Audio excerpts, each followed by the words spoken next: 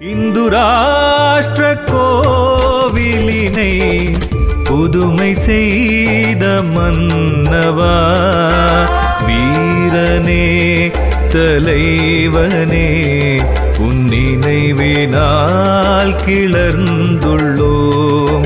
மதுரையில் ஆயிரத்தி தொள்ளாயிரத்தி எண்பதாம் ஆண்டு ஹிந்து முன்னணி துவக்கப்பட்ட அன்று நான் கோபால்ஜியுடன் இருந்து அந்த பணியை துவங்குவதற்குண்டான வாய்ப்பை இறைவன் எனக்கு கொடுத்தாரு. அதற்கு பிறகு தொடர்ந்து கோபால்ஜி அவருடைய இந்து இவனுடைய பணியை நான் தொடர்ந்து செஞ்சுட்டே இருந்தேன்.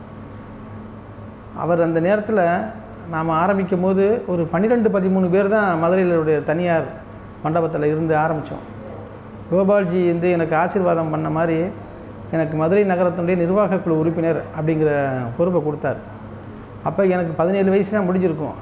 ஆனாலும் அந்த பொறுப்பு அவர் கொடுத்த காலத்திலிருந்து இன்றைக்கு வரைக்கும் அவருடைய ஆத்மாவுடைய எண்ணங்கள் எல்லாம் நிறைவேற்றும் வகையில் கடவுள் இன்னைக்கு இந்த பணியை தொடர்ந்து இன்றைக்கும் செஞ்சுக்கிட்டு இருக்கிற ஒரு வாய்ப்பை கொடுத்துருக்குறாரு.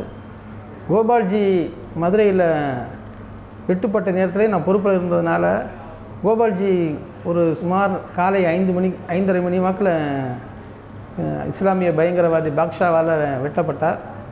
எனக்கு தகவல் வந்து ஒரு ஆறே கால ஆறரை மணி வாக்கில் வீட்டுக்கு கிடச்சிது. நான் அந்த மதுரை மருத்துவமனைக்கு ஒரு ஆறே முக்கால் மணி வாக்கில் போனேன். கோபால்ஜி முழுக்க கான்சியஸாக இருந்தார்.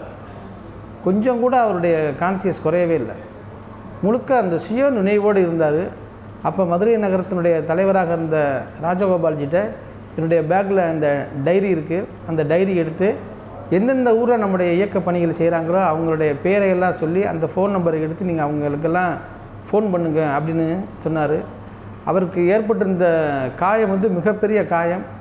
ரத்தம் வந்து அதிகமாக தான் அவருக்கு உடம்புலேருந்து வெளியேறி இருந்தது ஆனாலும் கூட அவருடைய மனநிலையும் அவருடைய சிந்தனைகளும் ரொம்ப தெள்ள தெளிவாக இருந்தது. காவல்துறையில் இருந்தவங்க டாங்க மருத்துவர்கள்லாம் ஆச்சரியப்பட்டு போனாங்க. என்னால் இன்னும் கூட அந்த நினை நினைவை வந்து மறக்கவே முடியாது.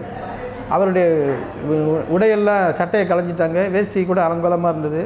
அவர் தலையை வந்து அப்போ ஷேவ் பண்ணிகிட்டு இருந்தாங்க. ஆனால் அவர் பேசிகிட்டே இருந்தார். இந்த சக்திக்கு காரணம் கோபால்ஜி வந்து தொடர்ந்து செய்கிற அவர் செய்கிற பூஜை.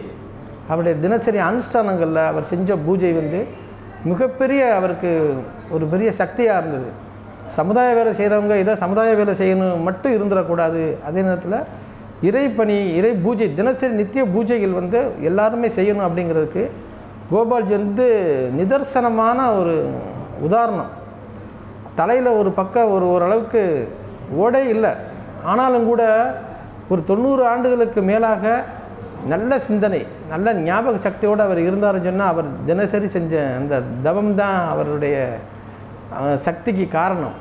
ஒரு தனி மனிதன் தமிழ்நாட்டில் எந்த விதமான எதிர்பார்ப்புமே இல்லாமல் எந் வெறும் தியாகிகளை மட்டும் உருவாக்கக்கூடிய தமிழ்நா ஒரு அமைப்பை கோபால்ஜியை மட்டும்தான் உருவாக்க முடிஞ்ச அப்படி அது கடவுள் அவருக்கு கொடுத்த மிகப்பெரிய ஆசீர்வாதம்.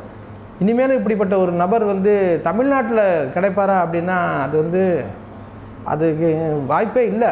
அப்படி தான் என்னால் சொல்ல தோணும். இது வந்து ரொம்ப அதிகமான வார்த்தையாக கூட இருக்கலாம். இருப்பாங்க.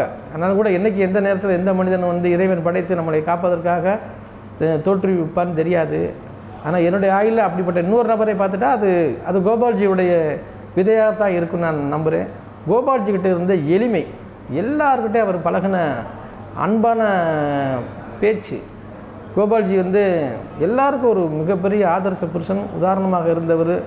அவருடைய மிகப்பெரிய பலம் வந்து அவர் தினசரி செஞ்ச பூஜைகள் அந்த பூஜை தான் அவருடைய மிகப்பெரிய இது. நம்மளை மாதிரி காரியகர்த்தர்கள் கூட தினசரி பூஜை வந்து அவசியம் செய்யணும். அந்த இறைவனுடைய சக்தி நம்மளை எல்லாம் பாதுகாக்கும். கோபால்ஜி அவங்க சொன்ன மாதிரி தர்மம் காக்க தர்மம் நம்மை காக்கும். அப்படிங்கிற வார்த்தைக்கே அவர் ஒருத்தரே உதா உதாரணம். அவரை பற்றி நிறைய சொல்லலாம். எதற்குமே அஞ்சாத மனிதன் எல்லாமே எல்லாம் சொன்னாலும் அவருக்கு பொருந்தும். இந்த உலகத்தில் எத்தனையோ பேர் பணியாற்றினாங்க. அத்தனை பேருடைய மொத்த உருவம் நல்ல குணங்களுடைய மொத்த உருவம் தைரியத்தினுடைய மொத்த உருவம் பக்தியினுடைய மொத்த உருவம் தேசபக்தனுடைய மொத்த உருவம். கோபால்ஜி வாழ்ந்த காலத்தில் நானும் அவர் கூட பணி செஞ்சுங்கிறது எனக்கு கிடைச்ச கடவுள் கொடுத்த மிகப்பெரிய வரப்பிரசாதம். நன்றி.